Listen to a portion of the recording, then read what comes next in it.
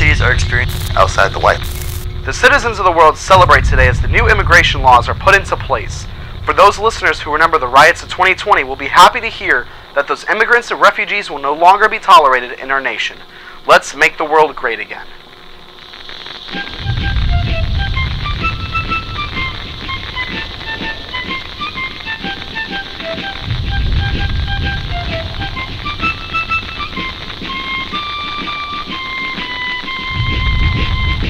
Citizens of the world celebrate today as the new immigration laws are put into place.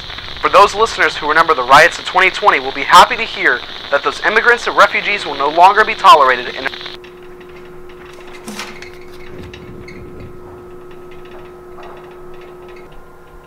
Justice for all.